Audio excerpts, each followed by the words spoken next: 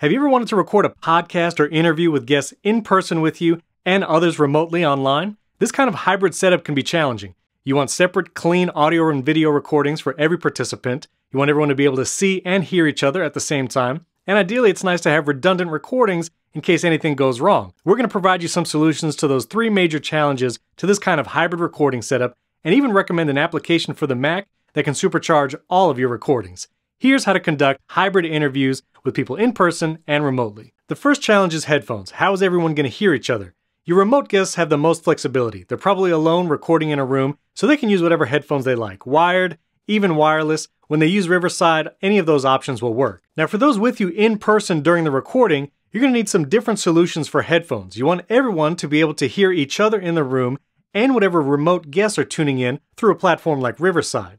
Now, you're going to want to use physical headphones, especially to reduce latency, because you're probably going to be using an audio interface to do all this, and you want people to be able to hear each other in real time. So wired headphones is the best option. Now, if it's only you and one other person in the room, you can use a cheaper headphone splitter. You can get these on Amazon, and it will split one headphone jack into two, but you will get a drop in volume because it's splitting that signal twice. What I would recommend is using something called a headphone amp. This is a Behringer headphone amp, and these kind of headphone amps do require power, so you need to plug it into the wall. And this will take one audio input in this jack and can split it to four headphones, and you can adjust the headphone volume level for four participants in person using these knobs. Now you might need some of these adapters. They're a quarter to an eighth inch adapters for headphones. They can take normal headphone jacks and turn them into this larger size that you'll see in headphone amps. But this kind of amp will allow you to split the signal four different ways without losing volume, and then you can adjust each of their in-person volumes if someone wants it a little louder in their headphones or someone a little quieter,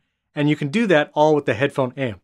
Now you'll go out of your interface into that headphone amp, which we'll cover in a moment. Now the next challenge is video. How are your remote guests going to record their video and you record everyone in the room so everyone can see each other? Your remote guests have the most flexibility. They can use the built-in web camera on their computer or a USB webcam, or if all they have is their mobile device, they can use the Riverside app on iPhone, iPad, or Android. They can come into the call with that device, and their video and audio is recorded in a separate track right in the Riverside studio. Now, for guests in person, you'll either need a single camera setup that has a wide enough angle to capture everyone in the room so your remote guests can see them, or there are more advanced options like video switchers. The main point here is you want your remote guests to see everyone that's involved in the recording. So when someone's talking, they can see who's talking, they can see their facial expressions, so you want a camera that has a wide enough angle to capture everyone in the room. Now the built-in camera on your computer might be enough, or you can use an external webcam that has a wide angle, maybe place it farther from you and your in-person guests so it captures everyone.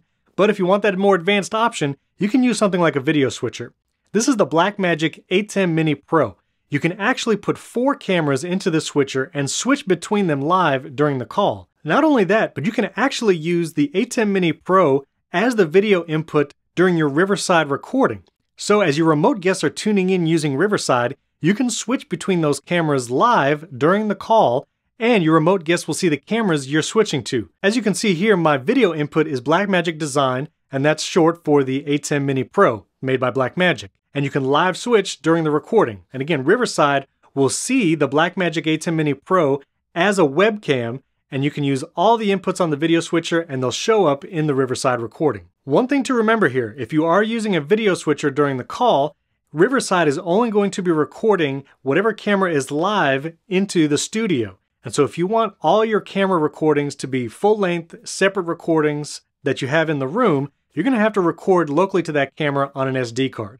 If you're using a mirrorless camera, you can record to that SD card and go HDMI out to a video switcher, and you can get both the full length recording from that camera and the switching in Riverside. Now, the biggest challenge of a hybrid recording setup is the audio from your in-person guests. Now, for them to be able to hear the remote guests, you can try to use Riverside's echo cancellation and play the remote guest audio out loud in the room through a speaker. Riverside's echo cancellation will do its best to remove that person's voice from the microphones in the room, but a better option would be to use an audio interface with multiple inputs for everyone in the room and then using that headphone amp so they can hear the remote guests. Here's how you would set that up. We're going to use a simple two-channel USB audio interface. We'll put links to some options in the video description, and now I'm going to show you how to plug everything in. Using a USB audio interface like this, it'll have a USB connection on the back, and then it'll connect to your computer on the other side. then Riverside will recognize that as an audio input. Depending on your audio interface, the mic inputs might be on the front or the back. On this one, you'll see I have two mic inputs here on the front. You will plug in both microphones for yourself and your other in-person guest, and then the headphone jack here is what's going to go out to your headphone amplifier. Again, if you need to use an adapter, you can. You can use an eighth inch cable or a full quarter inch cable, and you're going to go out of the headphone jack here on your audio interface to the input of your headphone amplifier. So I'm going from the headphone jack on my audio interface into the input on the headphone amplifier, and then my in-person guests headphones can plug into these. This way everyone I'm recording with in person can hear everyone remotely through Riverside. Once you go to the Riverside studio now to start the call, choose you are using headphones, and then you're going to choose the USB audio interface for both your microphone and speaker settings. My audio device is called the MixPre 3, and I'm going to select that for both my microphone and my speaker. When you do this, all the microphones connected to that audio interface will be heard by your remote guests, so they'll be able to hear everyone that's in the room with you. And because it's being used as the speaker, anything your remote guests say will go through the audio interface through that headphone amplifier, and then all of your guests in person can hear what the remote guests are saying. So use the USB audio interface as both the microphone and the speaker inside the Riverside studio. Now, one limitation with this setup is that your in-person recording through Riverside is going to have all the microphones going through that audio interface in a single track. Riverside just sees the audio interface as a single device and will record all those mics together in one track.